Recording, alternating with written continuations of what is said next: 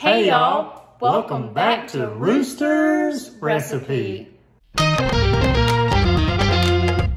Okay, so in this recipe, I'm going to be showing you how to make slow cooker potato soup and everything in this recipe are pantry staples.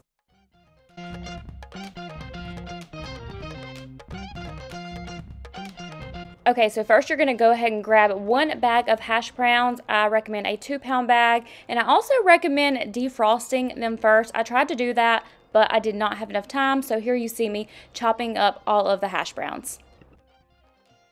Next, I'm going to add in this entire carton of chicken broth, or you can just use three cans. Now I'm going to add in one can of cream of chicken soup. So next I'm going to be adding Auntie NoNo's Everything Seasoning. If you don't have this seasoning, you can also just use salt, pepper, onion powder, and garlic powder, but I always have a discount code below if you want to try it for yourself. Next, go ahead and add in one 8 ounce package of cream cheese and put your crock pot on low for about three to three and a half hours.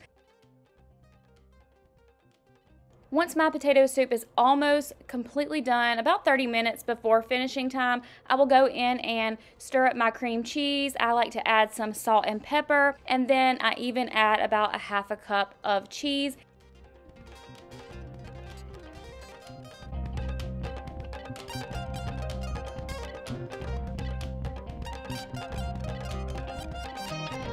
Once I'm done with those few steps, I will just go ahead and stir it up and then I will add parsley to the top of it and let it cook for about 30 more minutes.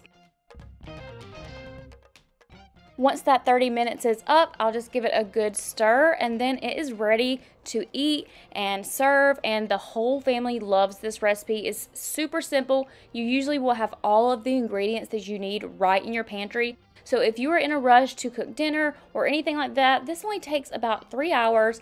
I like to top mine with some cheese and some bacon bits and call it a day. It is absolutely delicious. The next recipe we are making is white chicken chili, which is one of my all-time favorite slow cooker recipes. I'm gonna go ahead and put my crock pot on eight hours low. That way it's already starting to heat up. The first thing I'm gonna put in is my black beans. And do make sure you drain your black beans before pouring them into the crock pot. Next, we are going to add in one can of corn. Next up, you are going to be adding in one can of Rotel. Now I'm going to add in my one packet of ranch seasoning. Add one teaspoon of chili powder. Then we're gonna add in one teaspoon of onion powder. Next up is one teaspoon of ground cumin. And last, but certainly not least, is one eight ounce package of cream cheese.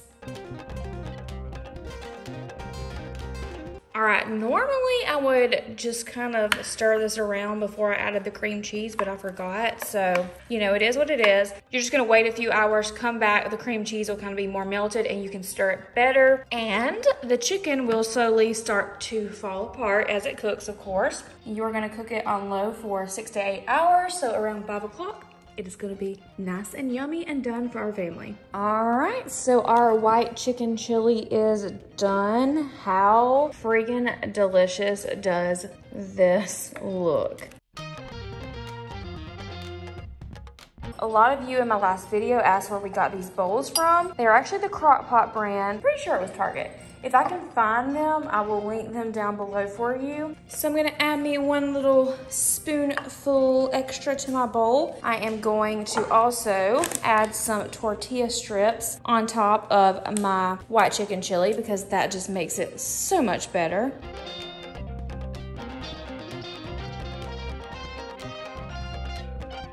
If you like trying new recipes, subscribe to our channel. Until next time, bye. bye.